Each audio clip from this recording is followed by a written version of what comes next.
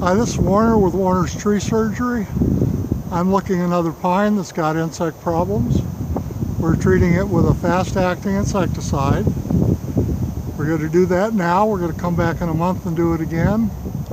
I've also got the customer on a program of treating these trees with Bayer Advanced Tree and Shrub yearly, which will protect them against any kind of insect damage.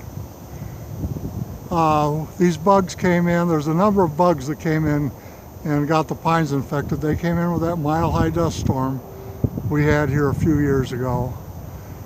And in addition to that, uh, sometime in May we had a rain came in that affected the, uh, the Brazilian peppers, the ash trees, knocked the tops out of about half of the queen palms, and affected lot of the pine trees. So I'm not sure yet whether that was a fungus or a bacteria, but if the tree would have been healthy enough, it would have fought it off. Uh, so that coupled with the insects that have been working in the tree have caused this, this browning that you see all over the valley. So one thing you want to do on these trees is you don't, you want to resist trimming them out.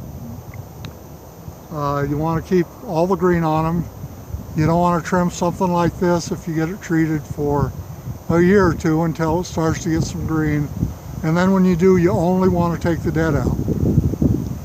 Also in the summertime, you want to increase the water. This is in a lawn, so it's getting anywhere from, from 60 to 80 inches of water a year, which is usually fine unless the trees are in stress. Uh, in their natural environment, there's places where they'll get in excess of 100 inches a year. So it won't hurt in the summertime to drag a hose out here once a week. Okay, so that's it. Everything you need to know to take care of this problem will be in the description of this video if you're watching it on YouTube or if you're watching it on my website, it will be at the bottom of the page. If you've got any questions, give me a call. The number is 480 969 8808. Thank you very much.